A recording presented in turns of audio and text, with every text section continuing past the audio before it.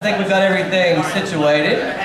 Um, we're, we're the band called Freight Train. My name is Wesley Bryan Roberts. This is Michael Patrick. This is Ryan Rye. And this is John Barron. First song we're going to be singing tonight is called A Date with Destiny. I hope you enjoy.